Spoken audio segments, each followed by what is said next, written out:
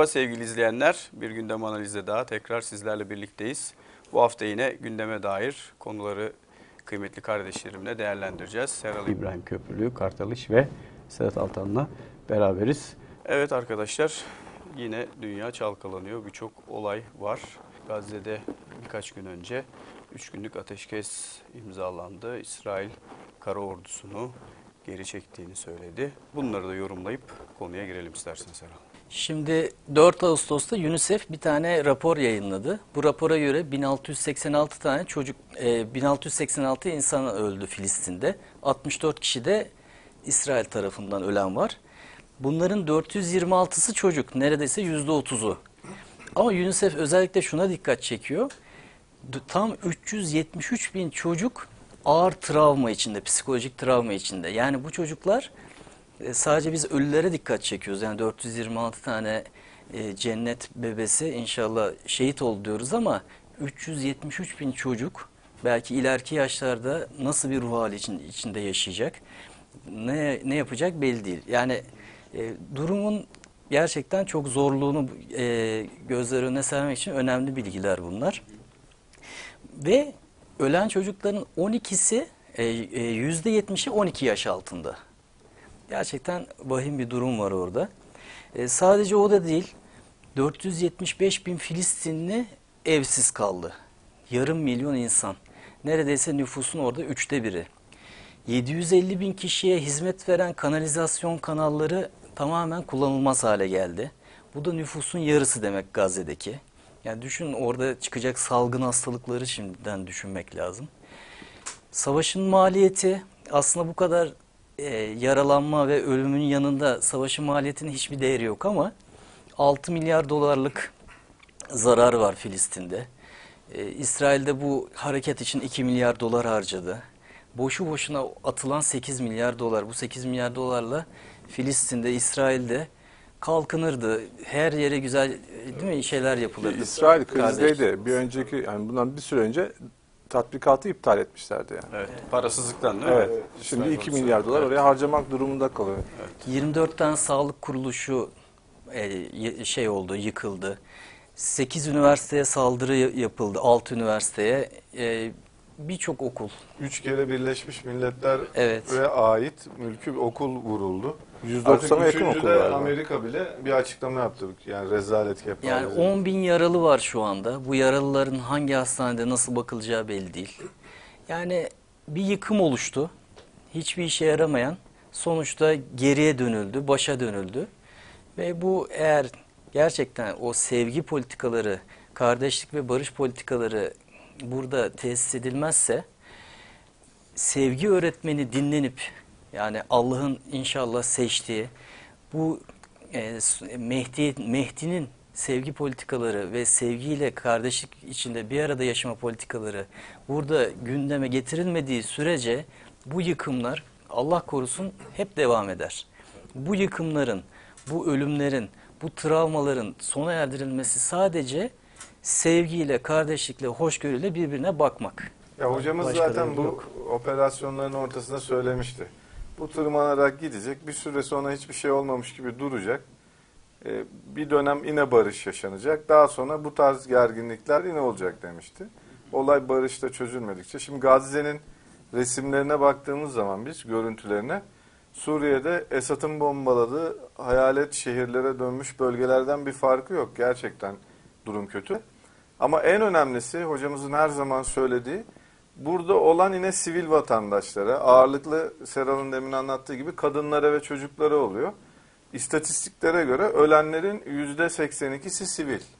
Yani ortada e, işte bir kavle göre 62, bir kavle göre 120 İsrailli asker var ölen. Onun haricinde birkaç tane Hamas militanı var. Ağırlıklı ölenler halk orada. Hatta bunu mesela e, Sabah gazetesinde Emrah Köz de yazdı ki yani İslami bir geleneğe sahip bir yazar değil bu. Hatta sol geçmiş olan bir insan. Yani diyor Filistin diyor Hamas diyor o çok sevmediği diyor Mao'nun diyor Marx'ın diyor yöntemlerini benimsedi bu savaşta diyor. Militanlar ortada yok diyor. Sudaki balık gibi olacaksınız der diyor Mao gerillaya. Olan halka oluyor. Bombalamalar halka oluyor. Yani birçok çocuk, birçok kadın maalesef diğer coğrafyalarda olduğu gibi şu an şehit düşmüş. Ya dünyada işte hani en son Diyanet İşleri Başkanı da açıklamıştı. Hocamız da bunu defaten dile getirmişti daha önce. Her gün bin Müslüman ölüyor. 900'ünü Müslümanlar öldürüyor. Müthiş bir silahlanma yarışı var. Mesela Dünya Müslüman Alimler Birliği Genel Sekreteri Ali Karadağ'ı da açıkladı. Yusuf El Kardavi'nin yardımcısıdır o ünlü alim. E, bütün diyor geliri diyor Müslüman ülkeler diyor silahlanmaya harcıyor diyor. Ve İslamiyet'in en temel emri okumak, araştırmak. Bununla kimsenin ilgilendiği yok. Müthiş bir cahillik var diyor. Şu an Irak'ta mesela 4.2 milyar dolar sadece Rusya'dan silah alıyordu bu sene. Ona 1 milyar dolar daha ek yapılmış. Yani İslam dünyasında yaşanan korkunç sefaletin, açlığın, yokluğun temelinde zaten bu var. Yani olan geliri, olan e, enerjiyi savaşlara harcanıyor ve bunu da kendi arasındaki Müslüman grupların kendi arasındaki savaşlara harcanıyor. Ya Birleşmiş Milletler İnsani İşler e, Ofisi şey diyor yani önümüzdeki aylarda çok zorlu bir sağlık şartları yaşayabilir burası diyor. Alarm veriyor yani. UNICEF çocuklar için alarm veriyor. Yani gerçekten e, büyük bir travma yani yanında anası babası ölenler, kardeşi ölenler, kucağında evi başına yıkılan çocuklar bunlar 373 bin. Yani neredeyse o da nüfusun dörtte biri oradaki. Yani hemen hemen bütün çocuklar travma içinde. Ne o? Savaştık işte şöyle yaptık. Yani bu daha akılcı, daha mantıklı ve Kur'ani yöntem bulmak gerekiyor. Yani Allah'ın Kur'an'da bize bildirdiği yöntemle davranmak gerekiyor. Hocamız da söylüyor. Yani silahla bir şeyin çözülemeyeceği hakikaten çok net gözüküyor da. Yani bugüne kadar çözülmüş bir şey de yok. Yani Birinci Dünya Savaşı'na bakıyorsun orada da bir şey çözülmemiş sonunda. İkinci Dünya Savaşı'na bakıyorsun yine bir çözüm yok yani. Afganistan'da bir çözüm yok, Irak'ta yok, Libya'da yok. Hiçbir yerde müdahil olunan hiçbir yerde çözüm olmamış. Bilakis daha karışık şu an baktığımızda. Şimdi burada dikkat edilmesi gereken şey iki şey var. Yani kardeşlerimizin dikkatini çekelim. Onlar da herkese anlatsınlar. Bir kere şu psikoloji yanlış. Ee, savaştan sonra şimdi el birlik yapalım ve e, savaş mağduru olan ülkelere yardım edelim. Bir kere bu zihniyet çok yanlış bir zihniyet. Neden yanlış? Bunun daha güzeli var. Savaşmadan önce yardım edeceksin. Yani barış için yardımcı olacaksın. Şimdi öyle bir hal almış ki işte ortada travma var, insanlar ölüyor, hadi bakalım yardım edin. Yani olay olduktan sonra insanlar, o da çok az bir kısmı tabii yani.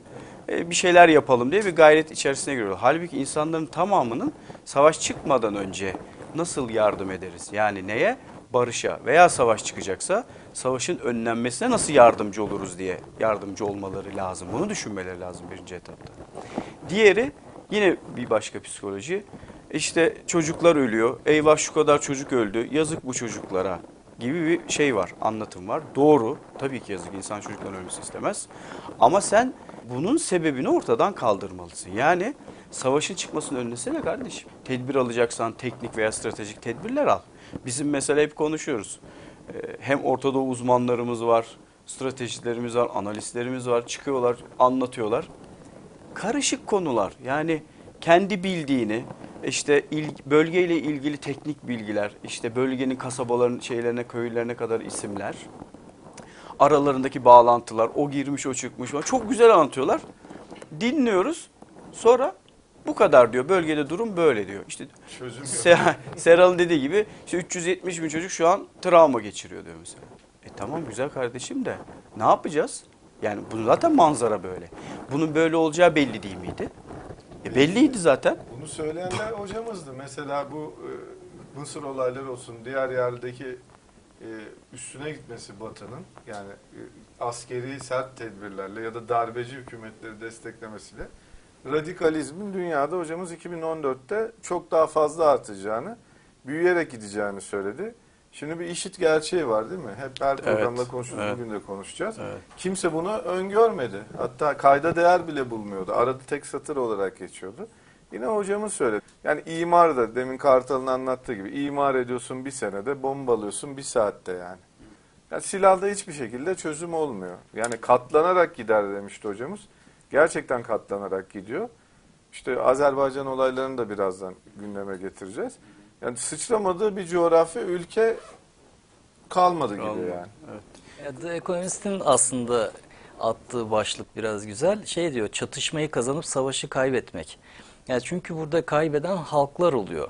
Yani her savaştan sonra ve çözüm de bulamadıkları için çözümsüzlük yani koskoca savaşın sonu çözümsüzlük olmuş oluyor. Ya tabii ki herkes hakkını, hukukunu uluslararası mahkemelerde, uluslararası hukuk çerçevesinde arayacak. Adalet mutlaka yerini bulması lazım. Ama o adaletin de yerini bulması için güçlü bir İslam ülkeleri birliği lazım. Yani ben mesela Filistin'den konuşan o acılı annelerin, acılı babaların, acılı çocukların konuşmalarını da dinliyorum. Ya birçoğu aslında şunu söylüyor. Nerede bu İslam ülkeleri? Neredeler? Ama Filistin Filistin'i yöneten örgütler, kuruluşlar, STK'lar bunlardan mesela bir ses çıktığını duymuyoruz. İslam Birliği kurulsun, İslam Ülkeleri Birliği güçlü bir şekilde olsun, gelsin burada barışı tesis etsin diyen yok. Ne, ne oluyor bunun dışında? İşte İran'dan yanlış açıklamalar çıkıyor. Silahlandıracağız orayı, İsrail'i yeryüzünden kazıyacağız, İsrail'i böyle yok edeceğiz. İşte Batı şöyle şeytandır, işte burası böyledir. E böyle olunca ne oluyor? Batı'nın gücü ortada, Batı'nın durumu ortada. Bir de Batı'yı yani yok etme gibi bir şeyi ne Allah bize Kur'an'da söylüyor ne de böyle bir şeyin gerekliliği var. Yanlış sürdürülen bir davaya Allah başarı da vermemiş oluyor. Ve hiçbir sonuçta çıkmıyor. Siz biz sizi yok edeceğiz dedikçe onlar da daha çok silahlanıyor. Daha çok silahlandıkça karşı taraf da tabii mecburen silahlanıyor. Ve bu birbirini kızıştırmanın sonucunda insanlar şehit oluyor. Aslında Batı'nın çekinceleri de belli. Yani Batı'nın çekincesi radikalizm. Yani aslında saf Kur'an ahlakıyla, Müslümanlıkla Batılıların bir problemi yok. Yani biz görüşüyoruz da bu insanlarla, konuşuyoruz, sohbet de ediyoruz. Yani hepsine hakikaten Kur'an ahlakını anlattığımız zaman gerçek Kur'an ahlakını hepsi bunu benimsiyorlar zaten. Ama radikalizm girince işin içine orada bir önlem alıyorlar. Bir de mesela deccaliyetin azgınlığı hocamız söylemişti yani deccaliyetin bir azgınlığı var. E, bu son dönemdeki savaşlara baktığımızda geçmişteki e, mücadelelerden daha farklı yöntemler görüyoruz. Mesela eskiden bu kadar çocuklara, kadınlara yönelik saldırı olmazdı. Yani çocukların, kadınların olduğu yerler bile bile okullar, hastaneler bombalanıyor. Mesela geçmişte böyle bir yapı yoktu. Kadınların, çocukların hukuku... Yüzde otuz biri çocuk Yani ya. elden geldiğince en karmaşık savaşlarda bile gözetilmeye çalışılırdı. Mesela kutsal mekanlara, kutsal günlere yönelik saygı olurdu. Ramazan'da mesela çatışmalar dururdu. Ya da e, belli işte inanışların kutsal günlerinde saldırı dururdu. Şimdi mesela kutsal günlere de bir hürmet kalmadı. Mekanlar bombalanıyor. Bunun mesela daha önceki programlarda söylemiştik. Irak işgali sırasında Amerikan askerleri postalla camiye girdi diye çok büyük olaylar olmuştu. Şimdi artık cami bombalamalar vakayı adliyeden sayılmaya başlandı. Yani sırf son dönemde 66 tane cami mesela İran, Musul civarında e, bombalanmış. Şiilere ait mekanlar. Değişik kültürlerin, Ezidiler dahil Şiiler veya Hristiyanların bütün kutsal mekanları şu an yıkılıyor, tahrip ediliyor ve binlerce yıllık mesela tarihi eser hükmünde olan yerleri de yok ediyorlar. İnfazlar arttı. Mesela eskiden bir savaş esiri hukuku vardı. Esir aldığın zaman ona dokunmuyordun. Yani esir konumunda tutuyordun. Şimdi direkt olay yerinde yargısız bir şekilde enseden sıkma şeklinde infaz ediliyor. Her gün değil mi basında onlarca görüntüsünü görüyoruz yeni katliamlar diye. Adam kaçırmalar bu da mesela bir ahir zaman hadisi arttı. Fidye almalar. Mesela bir haber vardı e, dış basında. El-Kaide sırf bu sene batılı kaçırıp fidye almadan 70 milyon dolar kazanmış. Yani El-Kaide'nin önemli bir gelir, Gelir kapısı kaynağı. olarak Fransa haber oldu. 30 küsür milyon dolar Evet. ödüyor bu Ve kaçırma. son İsrail e, Hamas gördüğümüz gibi ateşkese riayet diye bir şey de kalmadı. Mesela eskiden ateşkese riayet edilirdi. Bir kere ateşkes yapılırdı mı en azından bir süre giderdi. Şimdi böyle iki saatlik, bir saatlik ateşkesler, bozulmalar, gelmeler, gitmeler yaşanıyor. Yani bu tam böyle bir deccaliyetin ne kadar etkili, tesirli olduğunu ve dünyada yaşanan dehşeti gösteren bir manzara Evet. oluyor yani. Şeyde de mesela şu an e, en son IŞİD'in işte bu Şengal topraklarına, Şengal kentine girmesiyle şu an yine UNICEF'in açıkladığı bir rakam var. Orada kaçan yani 200 bine yakın insan şu an yollara düştü. Birçoğu dağlara sığınmış. 25 bin tane çocuk ölüm şartları altında yaşıyor şu an orada. Yani birkaç gün içerisinde belki yardım edilmezse bunlar da belki şehit olacaklar. Yani e, zaten 500 tane Yezidi öldü. İşte kaçırılanlar 500'ün üzerinde deniyor ama bunlar tabii bölgeden böyle sağlıksız şekilde gelen sadece bilgiler. Cenab-ı Allah bize Kur'an'da dinde zorlama yoktur diye buyuruyor. Mesela bölge işgal ediliyor. İşte sabaha kadar Müslüman olun deniyor Ezidilere. Eski bir kültür yani. Bir geleneksel bir kültür. Ya da hepinizi öldürürüz. Şimdi onların hepsi Şengal Dağı'na sığındı ve Seral'ın dediği gibi yani su yok, yiyecek yok. İlk gün zaten bir 10 kişi 20 kişi yaşlılardan, müstezaflardan ölmüş. Böyle bir yapı var. Yani İslamiyet'te böyle bir anlayış yok. Mesela bunu İslamiyet'te dayatmaları çok korkunç. Hakikaten onlar da mesela binlerce yıldır o coğrafyada yaşayan bir halk. Türkiye'de de mesela kısıtlı sayıda yaşıyorlar. Mesela Türkiye'de her zaman hürmet gösterilmiştir. Kültürlerine karışılmamıştır. Böyle bir yapı yok yani. Enteresan savaşlar yaşanıyor son dönemde. Yani şeyde Irak'ta hani şimdi Ezidilerden başladık. Mesela Irak'ta 500 bin Ezidi var ama mesela aynı zamanda 2 milyona yakında Türkmen vatandaşımız var. Türkmenler var yani. Ve bunların da durumu sıkıntılı. Yani Türkmenler Irak Selçuklular zamanında yerleşiyorlar. Ve şöyle bir özellikleri var. O bölge kendi vatanları olarak adlettikleri için de hani buradan biz ayrışalım, bağımsızlığını isteyelim gibi düşünmedikleri için silahlı kuvvetleri de yok. Ve tam böyle bu ekiplerin ortasında bir bölgeye dağılmışlar. Petrol de bunların elinde bulunduğu topraklarda ağırlıklı olarak. Ve Türkmenlerin çoğunluğu da Şii. Bu yüzden de şu an ciddi bir baskı altındalar. Zaten bir kısmı sürülmüş durumda. Ve bu Türkmenler için de yine aynı şekilde bir IŞİD tehlikesi var. Ama Türkmenler için ikinci tehlike de Irak'ın bölünmesi. Bu yüzden eğer Irak üçe bölünürse şu an Türkmenler tam o ayrışma bölgesinde olduğu için bir kısmı güneyde kalıyor, bir kısmı Kürt topraklarında, bir kısmı IŞİD'in kontrolünde olan Sünni bölgesinde kalmak durumunda kalıyor ve kendi öz kaynaklarını kaybediyorlar. Yani benliklerini kaybediyorlar. Çünkü Saddam döneminden beri Türkmenler Irak'ta 5. kol faaliyet olarak yani Türkiye'nin usantısı olarak görülüyorlar. O yüzden her zaman bir dönem işte Saddam'la, bir dönem Kürtlerle gerginlik yaşandı. Şimdi de dediğin gibi yani IŞİD'in özellikle Şii Türkmenlere yönelik bir tutumu var. Ama bu Sünni Türkmenleri de kapsayacak gibi duruyor ve silahsızlandırdılar. Mesela belli bölgelerde e, peşmerge biz yardımcı olacağız dedi. Silahları topladı sonra çekildi. Peşmerge de o bölgeden kaçtı. Orada Türkmenler de zarar gördü. Zaten şu an genel olarak bir hicret var. Irak'ın genelinde sürekli böyle bir e, coğrafya değiştiriyor yani. Etnisite değiştiriyor. Devamlı şehirden şehire. Yani bir hareketlilik var. Ee, Allah Kur'an'da da buyuruyor işte binlerce kişinin ölüm korkusuyla yurtlarından çıktığını görmedin mi diyor. Mesela bu ayet zamana da bakan bir ayet olduğunu hocamız söylemişti. Gerçekten o ayetin de bir nevi yani tecellisi oluyor bu yaşananlar. Sadece o değil, e, şimdi ilk başta Barzani e, şey nötr kalıyordu. Yani yardımcı olalım falan diyordu. Suriye'nin biliyorsunuz belli bir bölgesinde de e, PYD ile çarpışıyor IŞİD. Yardım istemiyordu PYD'de. Şimdi güçleri onlar birleştirdiler ama yani güçleri birleştirmeleri, hendekler kazmaları falan da o hendek kazıyorlardı biliyorsunuz Musul'un etrafına, Doğu'nun etrafına ama hocamız dedi 50 tane grayderle gelirler, doldurur, geçerler belli bir noktadan. Yani hendek kazmak bir çözüm değil. O bölgelerde de çok ciddi bir şey var. insan kıyımı var. insan katliamı var. Ya mesela Türkmenler kaçıyorlar Musul'dan, e, diğer şehirlerden şeye Kürt bölgesine doğru. Kürt bölgesine de içine almıyorlar.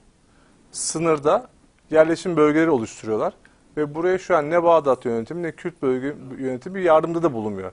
Bir tek Türkiye yardımda bulunuyor. Ki onlar da 2-3 gün kalınabilecek Evet, imkanda. normal çadırda ve Çadır, açıkta yani ve evet. sıcakta 50 derecede 50 yaşıyor derece, insanlar. Şimdi kardeşlerimiz şunu anlasınlar. Bu meseleler böyle çözülmeyecek meseleler değil aslında. Yani dünyanın, Avrupa'nın, Amerika'nın, Rusya'nın, bütün ülkelerin bunu çözmeye imkanı ve gücü var.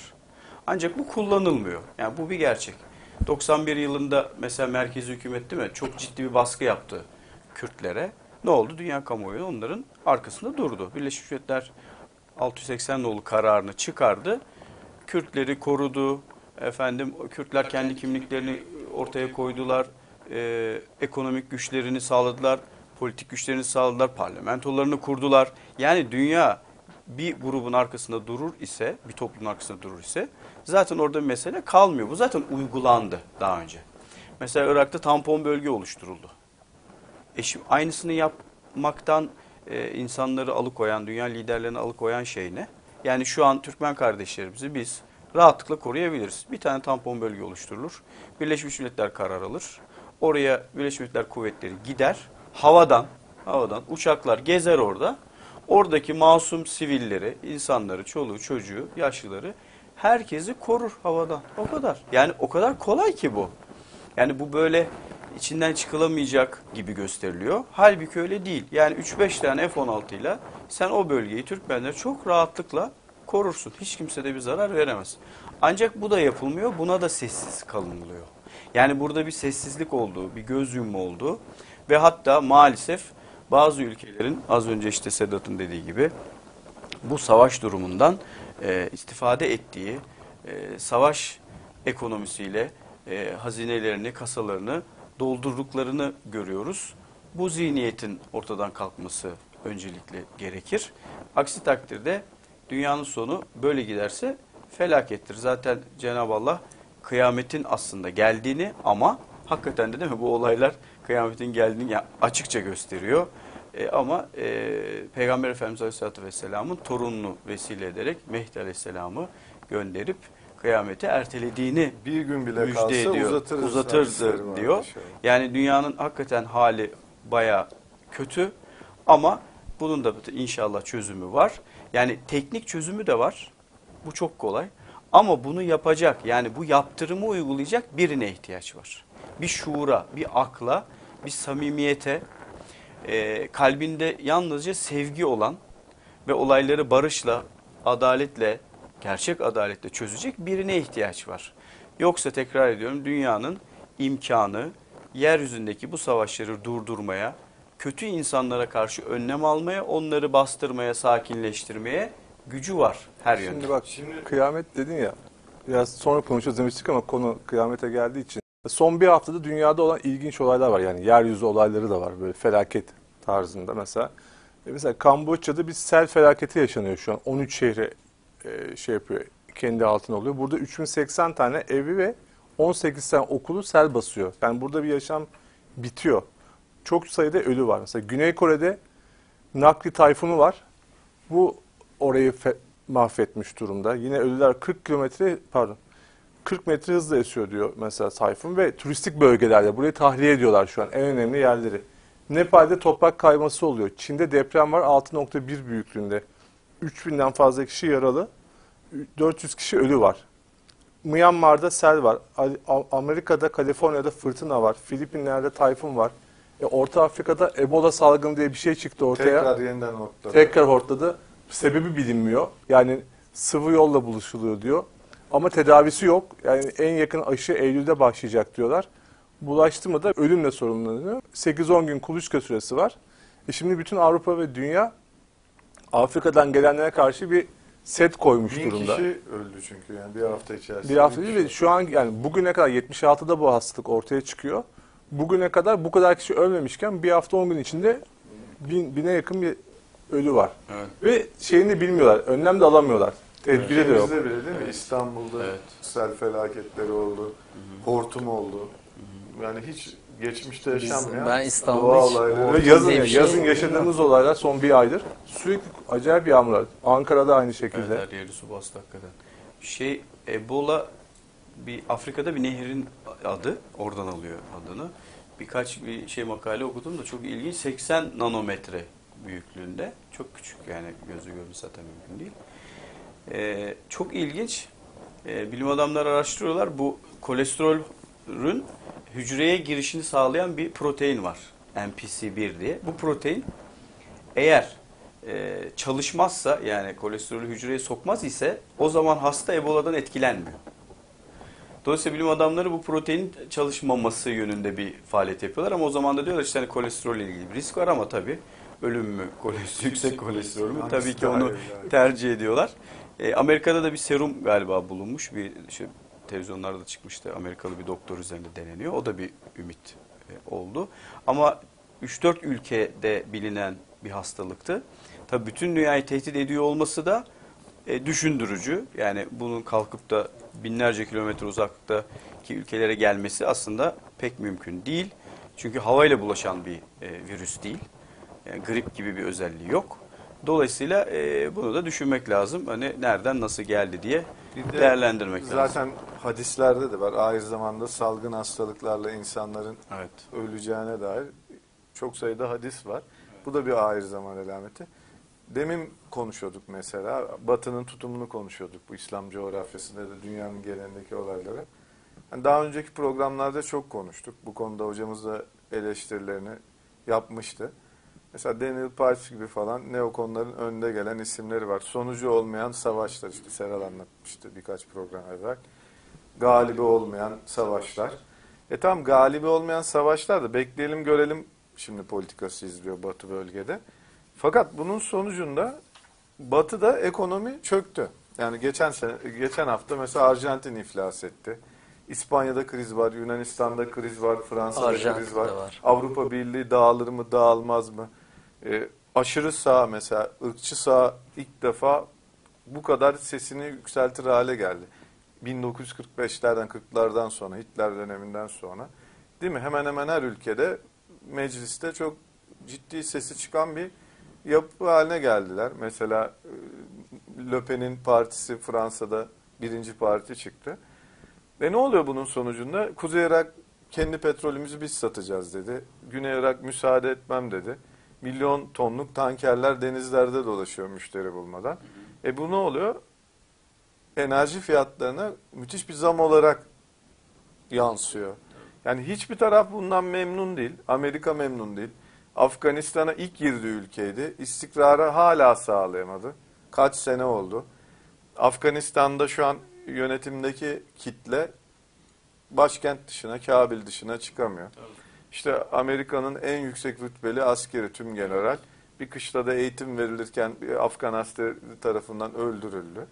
Yani genel bir güvensizlik var. Yani Batı'nın da gerçekten her program söylediğimiz gibi, hocamızın defaten söylediği gibi aklı selim bir insanı inşallah destekleyip ya İslam coğrafyasında değil mi böyle demokrasi kültürünü destekleyip Kur'an'a dayalı İslam anlayışını destekleyip Darwinizme, materyalizme karşı da bir mücadele verip e, kendi e, kurtuluşları açısından da böyle. E, Ukrayna meselesini de görüyoruz. Daha onu çözebilmiş değiller. Avrupa'nın göbeğinde de şu an savaş oluyor. Yani Gazze'deki kayıplardan çok daha fazlası şu an Ukrayna'da yaşanıyor. Tabii kaç Yolcu kişi uçağı tepede vuruluyor. Şeyden Tam ülkeyi 700 terk eden Evet 730 bin kişi Ukrayna'da Neredeyse şey ülkeyi kişi. terk etti. 117 bin kişi de ülke içerisinde yani 1 milyona yakın insan Ukrayna'da evlerini terk etmiş durumda. Ve her gün 1200 kişi daha ekleniyor buna. Yani çok ciddi rakamlar böyle. E bu Rusya'yı da etkiliyor. Göç ağırlıklı Rusya'ya oluyor. Mesela Rusya'nın da değil mi Putin çok e, makul bir insanken İslamiyet'e karşı sıcak mesajlar veren ve İslam Birliği'ni açık açık aleni desteklediğini söyleyen demeçler verirken şimdi mesela Kırım'da da bazı yanlış uygulamalar oluyor. Dün mesela Seral'la konuşmuştuk. Kitapları yasakladılar.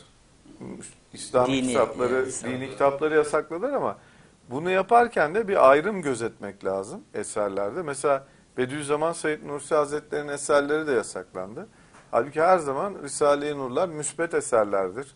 Değil mi? Barıştırıcı, uzlaştırıcı Allah'ın izniyle eserlerdir. Onun da iyi ayrımını yapmak lazım. Yoksa bir bereketsizlik getirir bölgeye. Yani bunlara dikkat edilmesi. O Moskova'daki bayram namazları çok güzeldi mesela. Evet, bütün meydan değil mi? Tabii kaç camide yüz binlerce Çok insan beraber kıldı. vardı. Evet. Şeye geri dönelim. Türkmenleri çok kısa yine ben birkaç bir şey söylemek istiyorum orada. Türkmen kardeşlerim çünkü gündemde olan bir şey. Zaten Türkiye'de bir ciddi bir şey var. E, mülteci olma talebi var. Türkiye'den kapılarını açmasını istiyor onların da Türkmenler için. Fakat ilgimi çekti bu Erşat Salihi var biliyorsunuz Türkmen liderlerden. İlginç bir şey söylüyor diyor ki Kerkük'te diyor e, Arap, Kürt ve Türkmenler birleşmeli ve bir ordu kurmalılar diyor. Şimdi fikir tamam. Yani birleşme o da tamam. Daha önce böyle bir şey düşünülüyor muydu? Yok. Bütün Araplar hadi kardeşiz. Hadi bütün Kürtler toplanalım. Hadi bütün Türkmenler toplanın birlik olalım demiş. Güzel Allah razı olsun çok doğru ama yani bunu e, bir zamanında yapılmalı. İki hiç önemli değil vakit yetmiş olabilir. Şimdi yapalım. Hemen yapalım. Yapalım ama işte çözüm bu değil. Evet. Çözüm bütün Müslüman aleminin, bütün inananların, bütün Türklerin, bütün Müslümanların bir araya gelmesi. Yani İslam aleminin bir araya gelmesi. Sen orada ya Arap Kürt dediğin toplasan yani birkaç milyon kişiden bahsediyorsun yani. Ya birkaç milyon kişi de bir araya gelse bir şey olmuyor ki. Bakınız IŞİD örneği 10 bin tane elinde silah olan adam milyonluk ülkelere kafa tutuyor işte. Hem de sessiz sakin yani ortada ordu da yok bir şey de yok hiçbir şey göremiyoruz yani. Bir peşmergeler işte bir şey koymaya çalışıyor direnç. O kadar demek ki yani sen e, 1 milyon kişi bir araya gelince de olmuyor bu. Veya 500 bin kişi bir araya gelince olmuyor. Bütün İslam aleminin birliğini istememiz gerekir. Yine Türkmenlerle ilgili kısa bir birkaç bilgi verelim kardeşlerimize. Ee, 350 bin Türkmen göç etmiş yine bulundukları bölgelerden. Yani hiç kimse yerinde, vatanında, yurdunda rahat yok. Ee, yarın öbür gün işte bu olayları koltuğundan seyreden kişiler de bunu e, akıllarına soksunlar. Yani bu kafa Arap, Türk, Kürt, Kürtmen şey hiç kimseyi ayırmıyor. Seni de bir gün oturduğun yerden kaldırmaya gelir yani kapına Allah esirgesin. Hala sessiz kalır seyredersen. 500 500'de ölü var diyor yine Erşad Salih'i Türkmenlerden. Böyle vahim bir durum var Türkmenler Ya bir de üzerinde. şey demiyor mesela o. Bir askeri bir birliktelikten bahsediyor. Bir Ordu diyor canım, partimi. tabii ordu. Sen bir iddiatı İslam'dan Yine bahsettin. Biz yani. kardeşiz, Tabii. aynı inanışa Tabii. sahibiz. Allah'ımız bir, kıblemiz Tabii. bir, Hazreti Peygamberimiz bir. Tabii. Bunu demiyor. E, o zaman yarın öbür gün zaten o dengeler değişir. Zaten değişiyor da mesela şimdi Öcalan'ın da yeni izahları var. Öcalan yine e, işit şu an tabii çok ciddi bir tehlike oldu. Özellikle onların kurmaya çalıştığı özerk ayrı bir devlet yapısına tam bir tehdit oldu. Bölgeye zaten akın akın PKK militanları yönleniyor şu an. Hem Suriye'de işit hem onun haricinde Irak'ta belli bir bölgeye de geliyor. Yani kapılarına gelip dayandı. Çünkü zaten onlar zorla dayatmaya çalıştıkları Marksist-Leninist bir sistem vardı. E şimdi başka bir sistemde bağnazlıkta zorla onları aynı şeyi silahla tattırıyor, dayatıyor. Şimdi Öcalan İslami söylemden tekrar çıktı. Mesela 2-3 ay evvel konuştuğumuz Ey mümin yapı var. Ey kardeşlerim. cemaati müslüm, mümin kardeşlerim. Çünkü o söylem sen kullanacaksan o söylemin daha alasını hadislerle, ayetlerle işit kullanıyor. Dinde olmayan bir şiddeti belli hadislere, e, hurafe kaynaklara dayandırarak kullanıyor. Şimdi tekrar devrimci bir söylemle bölgeye yönelik bütün güçlerimizi birleştirelim. E, hatta Barzani güçleriyle de ittifak edelim ve demokratik ekonomik komünel toplumlar kuralım diyor. Mesela Güneydoğu'da da bunu istiyor. Tekrar bir devrimci söyleme şey yaptı ama yani hiçbir tarafa bu karışıklık huzur vermez. Kimsenin de yanına kar kalmaz. Yani hocamız her zaman söylüyordu. Yani o bölgeyi PKK'ya da bırakmazlar. Oraya devlet de kurdurmazlar. Bırak büyük güçleri zaten. Bak aniden zuhur eden bir ay zaman alameti. Değil mi? Hadislerde de geçiyor. Zorla, cebren, zalimane bir şekilde ve hiçbir anlaşma, hukuk, hak gözetmeksizin öldüre öldüre bölgede ilerliyor. Bak bu olayda aslında hocamızın bir kez daha ne kadar doğru ve hikmetli bir söz söylediğinin ispatıdır. Ee, çok iyi hatırlıyorum. Birkaç defa söylemişti hocamız. Abdullah Öcalan da İttihat İslam'ı istesin. İttihat İslam'dan bahsetsin. Ee, onun da kurtuluşu bunda demişti. İlk duyanlar şaşırmıştı. Yani Abdullah Öcalan ve İttihat İslam.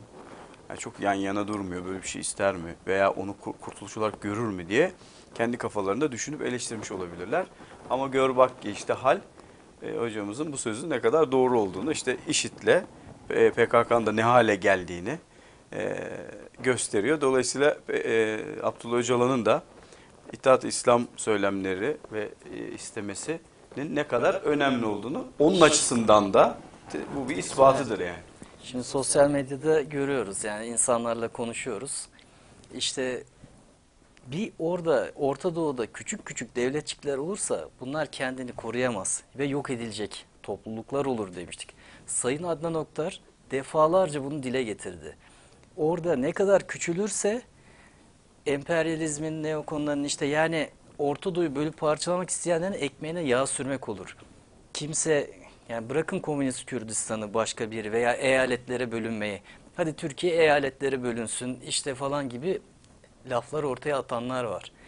Bakın orada Kuzey Kürdistan normalde en or, düzenli orduya sahip olduğu söylenen bir şeydi. Şu an mesela Erbil'e yaklaşıyor.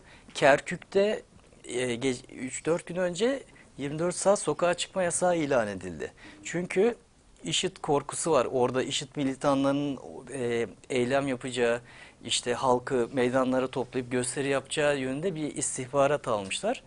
Hani biraz önce tamam dünya birleştiği zaman önlüyor ama şu an öyle bir noktada ki dünya kendi kafasına ya farklı felsefelerde birleşse bile artık şehirlerin içinde parçalanmalar var. Ve oradan yani bir terör, bir şiddet devam e- böyle yayılmaya devam ediyor. E şimdi ne oldu? E, Suriye'de özellik ilan ettik. Ya Esed bize dokunacak mı deniyordu. Esed dokunmadı. İşte Irak Şam İslam Devleti saldırmaya başladı. E, şimdi Barzani bak ne güzel çok örnek bir durumda deniyordu. Şimdi Irak Şam İslam Devleti oraya gidiyor. Şimdi Orta Doğu'da ne kadar bölünme parçalanma olursa orada savaş, ölüm çok daha fazla artıyor. Bu sefer küçük olan her topluluk birbirine tahakküm etmeye çalışıyor. Ben diyor benim dediğimi yapacaksın. E zaten savaşlar çıkıyor. Bu daha da artacak.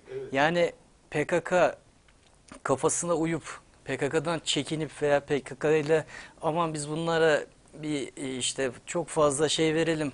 Onlar da sussunlar. Yok susmuyor. Onlar sussa diğerleri gelip onlara saldırıyor. Yani bu Kürtleri yok etmek demektir. Yani Kürt kardeşlerimizi hadi onlar ayrılsın demek Kürt kardeşlerimizi ateş çemberinin ortasına koyuyor. Şu an Türkiye güçlü olduğu için Güneydoğu'ya dokunabilen yok. Şu an Türkiye güçlü olmasaydı Güneydoğu'ya kadar gelirdi bu. Ya Irak Şam İslam Devleti şeye kadar gelirdi o zaman. Yani gerçekten Karadeniz'e kadar gelirdi. Yani böyle çünkü küçük küçük küçük küçük yapılanmalar, gücü yok, bir şey yok. Aldı mı gider. E orayı sonra işgale e, başka topluluklar gelirdi, başka ülkeler. Burada savaş var, ben burayı işgal ediyorum derdi. Kim sesini çıkartabilecek? Zaten böyle olmuyor mu Orta Doğu? E zaten öyle. Yani yıldır bu şekilde. mesela. Şimdi tam işite belli bir süre göz yumuluyor ama yani kırsınlar birbirlerini. Genel bir terbiye mantığı da olmuş oluyor bölgede işitin. İşte Kuzey Irak ne dedi Amerika'ya? Yani biz her sizin tutumunuzu desteklemek zorunda değiliz. Bizim milli gelirimiz, petrolümüzü de biz belirleriz. Şunu da biz belirleriz. Maliki hakeza öyle bir şey oldu.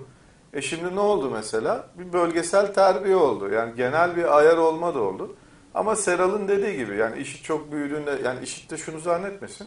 Onlar da mesela İslam'ın özüne değil mi? Kur'an hakikatlerine dönüp sevgi, şefkat, merhameti esas alsınlar.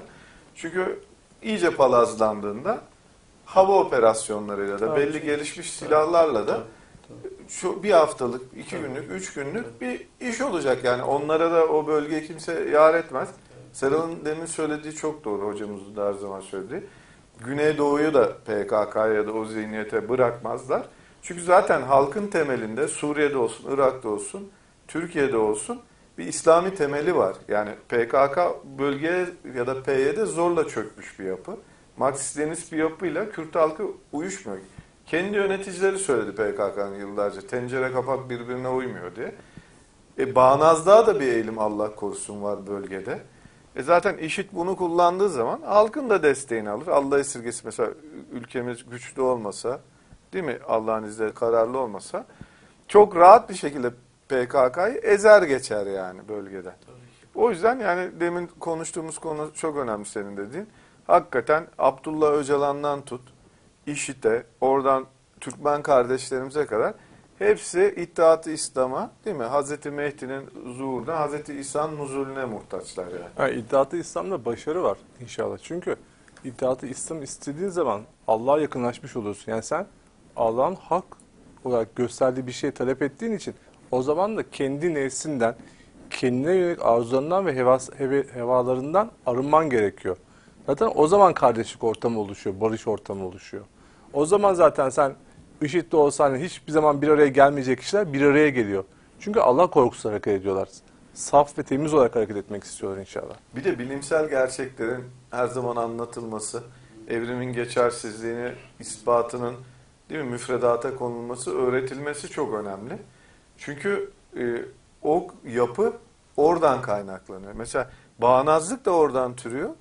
E, Marksizm, Leninizm de oradan türüyor. Şimdi Demirtaş'ta bir röportaj vardı mesela. O da kendisi diyor. Ben küçükken diyor assubay olmak istiyordum diyor. Asker olmaya, adaleti sağlamaya yönelik bir isteğim, hevesim vardı. Hatta diyor formlar aldım. Sınavlara hazırlanıyordum diyor. Sonra diyor devrimci bir abi diyor beni ikna etti diyor. O devrimci abi ona ne anlatmış oluyor? Her zaman PKK'nın verdiği Marksist Leninist eğitimler değil mi? Akademi dedikleri. E sonuç olarak bak mesela oradan bu noktaya gelen bir yapı olmuş değil mi? Şimdi siyasi kanadının yani her ne kadar kabul etmese de HDP herkes bunu açıkça biliyor. PKK'nın siyasi kanadında çok kilit bir noktaya gelmiş yani. Kaderde öyle ama inşallah Allah'ın izniyle de yine düzelir. Yine İttihat İslam çizgisine gelir ama eğitimin de böyle sonuçları oluyor. Tabii ki. Mesela e, yine şeye Libya örneğini ben vermek istiyorum izninle Serdar. Estağfurullah. Mesela Libya'da 2011'de 6 aya yakın süren bir iç savaş oldu. Diktatör yıkıldı. Hatta hiç e, hoş bir şekilde değil, linç edilerek. O ahlakla büyümüş insanlar, yani o diktatörün e, kurduğu eğitim sisteminde yetişmiş insanlar diktatörü zaten yok etti. Peki şimdi ne oldu? Batı oraya müdahale etti, işte yardımcı oldu diktatörün devrilmesine. Şu an Batı orada var mı? Hepsi kaçtı. Amerika, Fransa, herkes zaten ülke şu an üçe bölünmüş durumda. Bu üçe bölünmüş durumdaki ülkede e, bir darbe oldu.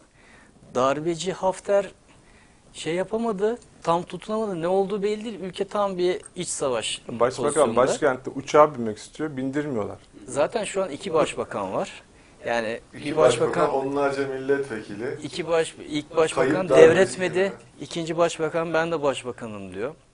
Zaten Doğu ile Batı yani Trablus'la Bingazi birbirini dinlemez pozisyonda. Bingazi'de çok büyük çatışma, Trablus'ta da var çatışmalar.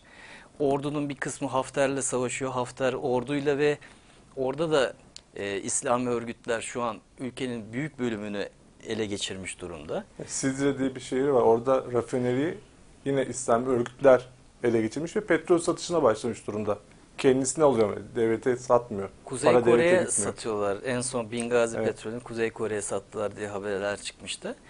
Ee, şimdi Mısır bu sefer Libya'ya saldırmak istiyor. Ee, çünkü Mısırlı askerler öldürüldü. Libya'da Mısır'da e, Mursi'yi destekleyen bir yapı oldu. Bunlar kendileri bir ordu kurduğunu açıkladı. Onlar sınıra doğru yürüyüşe geçti. İşte Mısır ordusundan bunlara ateşler açıldı. Mısırlı 60'a yakın kamyon şoförü kaçırıldı. Yine Trablus civarında binlerce Mısırlı işçi Tunus'a sığındı. Yani Libya şu an tamamen yaşanılmayacak bir nokta. Aslında Suriye'den, Irak'tan, Filistin'den bir farkı kalmadı. Cezayir'de set çekiyor da şu an sınıfa. 1977'de Mısır'la Libya arasında bir savaş olmuştu. Kısa süren bir savaş ama bayağı ölümlü oluyor. Mısır'da hatta Libya toprakları içine giriyor. Şimdi 19 o Arap Birliği'nin müdahalesiyle ayrışıyorlar. Ama şu anda yine o noktaya gelindi. Ama bu sefer Libya'nın başında bir baş yok, bir şey yok. Ülke şu an gerçekten sahipsiz. ne olduğu belirsiz. Mesela senin söylediğin o set olayı da ahir zaman alameti mesela. Değil mi? Ee, Kehf suresinin komple ahir zamana baktığını hocamız hem kitabında hem defalarca açıklamalarında tek tek ayetleri hatta birkaç kere aynı ayeti tefsir ederek anlatmıştı.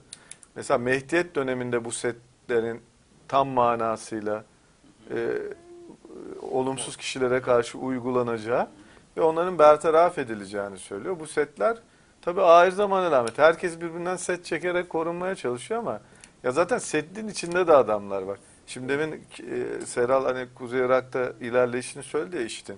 Kerkük'teki olayları filan. O Türkmen lider diyor ki şeyin e, Ser- Serdar'ın e, telaffuz ettiği isim şu an aklıma gelmedi. Ya diyor Kerkük'ün de diyor işi diyor birkaç saatlik iş diyor. İçinde zaten diyor. Kerkük'ün işit militanları var diyor. İçindeler diyor yani. Bizzat orada yaşıyorlar diyor. Ya konu öyle setle, silahla olacak bir konu değil yani. Çünkü sen insanların beynine değil mi set çekemiyorsun yani. Tabii. Tabii. Şimdi biz e, bir önemli konu daha var. Vaktimiz az kaldı. Onu da konuşmak istiyorum uygun görürseniz. E, Azerbaycan'da biliyorsunuz Karabağ'da e, yanlış hatırlamıyorsam 18 şehidimiz var. Azeri Türk askerleri orada şehit oldular. E, Ermenistan'da bir sorun yaşıyorlar. Zaten bu sorun yıllardır var. E, önemli bir gelişmeydi. Aslında yani uzunca süredir bir sakinlik söz konusuydu ama e, bir kavle göre işte Rus sniperlarının işte bir takım denemeler yaptığı da söyleniyor. Gazete haberleri bunlar aslı astarı var mı bilmiyoruz ama netice itibariyle orada çok ciddi bir sıkıntı var. Netice itibariyle yine orada insanların işte şehit olması, katledilmeleri, öldürmeleri sonuçlanıyor. Kafkaslarda eğer huzur ve güven olmaz ise e, tıpkı işte Orta Doğu'daki gibi, e, Mısır'daki gibi, Arap Afrika, Afrika Yarımadası'ndaki gibi e, bütün olaylar dünyayı rahatsız eder, edecektir de. E, eğer bu mesele çözülürse hem Azeri kardeşlerimiz hem de Ermeni kardeşlerimiz son derece rahat edecekler. Bölge çok zengin olmasına rağmen biliyorsunuz e, Ermenistan'daki vatandaşlar, insanlar son derece zayıf ve kötü şartlarda yaşıyorlar. E, çok ciddi bir ekonomik kriz içindeler.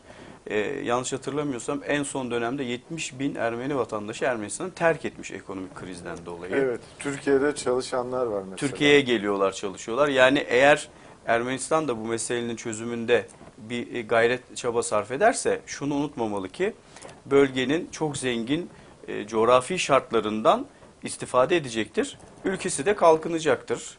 E, bu da hem Türkiye açısından da çok ciddi bir ekonomik e, artı getirir. Ermenistan açısından da öyle. Azerbaycan'da da hem ekonomik hem de huzur ve güven açısından son derece önemli bir Yani çok durumdur. zor koşullarda yaşıyorlar. Türkiye himayesinde Azeri kardeşlerimize de barıştıralım. Türk İslam Birliği'nin içinde yer alsınlar demişti. O dönem güzel adımlar oldu. Başbakanımız olsun, Davutoğlu olsun. Fakat bir şekilde yine o e, temelinden dinamitlendi. E, bu son dönemde de mesela bu yaşanan olaylarda da biz bunu görüyoruz. Mesela hatta Türkiye bir el uzattı. Yani özür olmasa bile bunu ima eden bir açıklama oldu. Karşı taraftan da onun gelmesi gerekirdi. Eli Türkiye'nin havada kaldı. Azeri kardeşlerimiz de Dağlık Karabağ olaylarında tamamen haklıdırlar. Tamamen mağdur taraf Azerbaycan'dır. Çünkü zaten Azerbaycan'a bağlı bir bölgeydi Dağlık Karabağ. Bir oldu bittiye getirildi 88 ile 94 yılları arasında yaşanan süreçte. Başta Hocalı katliamı olmak üzere birçok yerde yine o Ermeni halkı mı yap- yaptı onları? Yapmadı işte belli.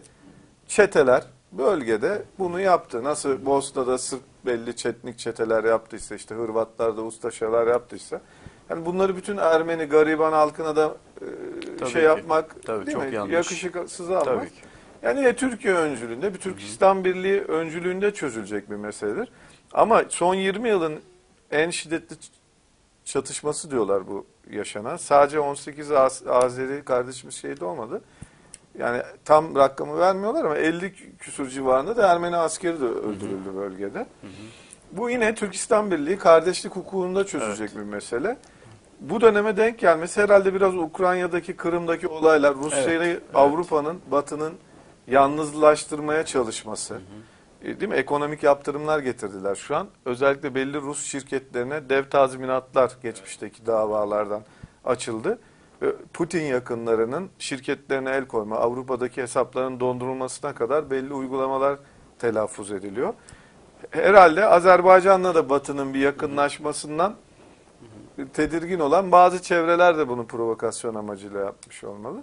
Ama sonuç hocamızın dediği gibi dönüp dolaşıp İttihat-ı İslam'a, İslam Birliği'ne gelip dayanmış oluyor. Bu Dağlık Karabağ bölgesinde zaten o kaybedilme dönemi Azerbaycan'da ki iç politika da çok karışık. Yani o, o dönemde birlik içinde değil zaten Azerbaycan. Kendi içindeki mücadelelerden dolayı oraya tam müdahalede de bulunamıyorlar. Yani orada da yine bir birlik sorunu olmuş oluyor o dönemde ve bir kaybı oluyor ülkenin. Yani bunda hani birlik her zaman önemli bizim için. Yani ülkenin bir bütün olması, aynı mantıklı olması, tehlikeye karşı tek yürek olarak hareket etmesi bunlar çok önemli. Şunu görmüş oluyoruz. Yani hocamızın söylediği gibi 2014'te 2015'te olayların çok tırmanışa geçeceğini söyledi hocamız. Her program biz iki ülkede farklı coğrafyalarda ekleyerek İslam dünyasındaki sorunları konuşmaya çalışıyoruz ama zaten yetmiyor. Çok büyük bir bölümünü konuşamıyoruz. Doğu Türkistan'da da Ramazan ayında çok ciddi zulümler oldu Çin tarafından. İki köy haritadan silindi diye haberler çıkıyor. 500'e yakın ölü var. 500'e yakın ölü var. Daha bunları telaffuz bile edemiyoruz. Myanmar'ı hiç konuşamıyoruz. Yani değil mi kaç programdır konuşamıyoruz. Halbuki oradaki şiddet devam ediyor. Pakistan'da hakeza savaş var. Afganistan'da yine oradaki Müslüman gruplar birbirini kırıyor, geçiriyor. Yani bu olay Allah'ın izniyle İttihat-ı İslam oluşturulmadıkça çözülemez ve hala İttihat-ı İslam telaffuz edilmiyor. Yani hiçbir ülkede bu yaşanan olayların yaşandığı hiçbir ülkede ne biz bir Iraklı yetkiliden ya bir kanaat önderinden ne Suriye'de bir kanaat önderinden ne Afganistan'da bir yetkiliden biz İttihat-ı İslam'ı istiyoruz. Çözüm İslam Birliği dendiğinde duyamıyoruz. Hatta Dünya Müslüman Alimler Birliği diyor. Adı da birliktelik var. Müslümanların birlikteliği var. Onlar bile bunu telaffuz etmiyor ısrarla. O da tam bir ahir zaman mucizesi yani inşallah. Sonuna geldik programın. Ee, Azerbaycan'la ilgili hocamızın önemli bir makalesi yayınlandı Azerbaycan'da. Birçok internet sitesinde ve basında. Ondan 2-3 paragraf okuyacağım. Ee, ondan sonra kapatacağız. Bugün Türklerin birlik olma vaktidir başlıklı bir makalesiydi bu. Ee, Azeri dilinde de yayınlandı, e, İngilizce'de yayınlandı. Hocamız şöyle söylüyor makalesinde. Bizleri ayrı kılan tüm sebepleri bir kenara bırakıp Türk birliğini hemen kurmalıyız. İnancında ve ideallerinde samimi olan herkesin Türk Birliği için hemen var gücüyle çalışmalara başlaması elzemdir. Değerlerimize gerçekten inanan ve bunlara sahip çıkan herkes güçlerimizi birleştirme yolunda destek vermeli, çaba harcamalıdır. Bu kutlu yolda ilk olarak Azerbaycan'ın ve Türkiye'nin birleşerek öncü olmalarını canı gönülden diler ve Azeri kardeşlerime selamlarımı sunarım diye hocamız makalesini bitiriyor. Programımızın da sonuna geldik. Buradan tüm Azeri kardeşlerimize de canı gönülden selamlarımızı, sevgi ve hürmetlerimizi gönderiyoruz. Şehitlerimiz için Cenab-ı Allah'tan rahmet diliyoruz, yakınlarına başsağlığı diliyoruz. Programımızın sonuna geldik. Haftaya görüşmek üzere, hoşçakalın.